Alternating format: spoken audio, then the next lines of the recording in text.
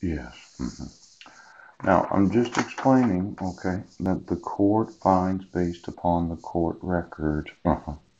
The law requires the order to say if the respondent received notice of the hearing and by what method. hmm This is the court record. Yes. When you issued the protection order in 2011, I was arrested on Guam, right? and uh, Guam had jurisdiction. Now, you did not give me any due process. hmm I went through a court hearing that had quite a few, well, maybe five to ten actual docketed court dates, yes, that were on the Superior Court case summary. Yeah. now, um, this concept that you can just have court hearings, you cannot docket the actual petition of any petitioner without actual subject matter, right, and personal jurisdiction. Now, this order for dismissal, yes. hmm hmm Superior Court of Guam, yes. Superior Court case summary, yes. There was an actual Superior Court case summary that Guam had, yes. hmm Criminal case number CM0746-11. Mhm. Now, you would say I don't need to go to this extent, but I want to really beat this into your brains that you have had no jurisdiction of law to obstruct my rights as a father. And that's what I'm going to do because you've refused to acknowledge the laws of the United States. Now, the people of Guam versus Paul Chad Budnek. Okay. Guam is a territory. Yes. hmm Something very similar that we've seen in some of these others. Right. State of Washington, County of Clallam. Uh huh. Uh-huh. Bruce Hanafy. Oh, I certify under penalty of perjury of the laws of the state of Washington that the foregoing is true and correct. Right. Uh, signed 8 of March 2016 at Port Angeles, Washington. Mhm, mhm. Now, you would see a similar response from my public defender. Yes. hmm Now, instead of a motion to dismiss, right, right, right, would be a certified statement and there'd be the penalty of perjury. Yes. Now, versus Paul Chad Budnek in all capital letters. Yes, as a defendant. Yeah. hmm This matter came before the Honorable Mark, Michael J. Bordallo mhm, on July 11th of 2012. Yes. Now, actually, it went before the judge on the 11th of July of 2012. I looked for that date, but I couldn't find it. and evidence being presented to the satisfaction of the court, the Superior Court judge. Yes.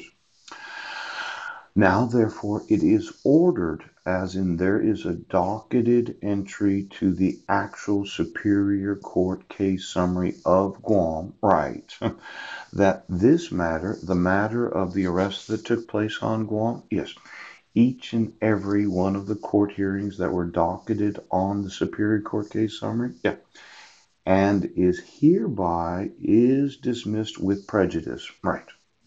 Now they they left the door open that if I violated probation, I could get in big trouble. Now I know. Okay, just leave it where it's at. Oh, and the record herein is expunged. Oh, exactly what record was expunged? The arrest and court hearing docketed record of the Superior Court of Guam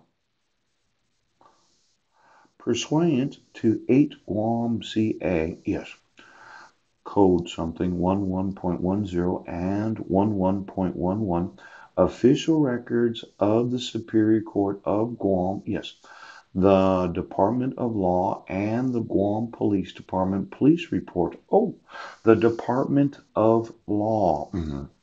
Now, that is inclusive of the judiciary of the Superior Court of Guam. Now, in the last few days, we've been talking about the police report, yes, where Heidi had alleged domestic violence and child abuse. Mhm. I had some evaluations, right? I had numerous court hearings. Yes. I did seven hours of parenting classes. hmm All of that had been docketed in what? 2011 while I was a resident of Guam. Now, I was allowed to leave Guam on January 7th of 2012 with a passport.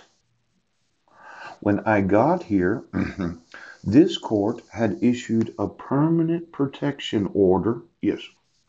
Uh, entry number 10, docketed date August 12th of 2011. Yes.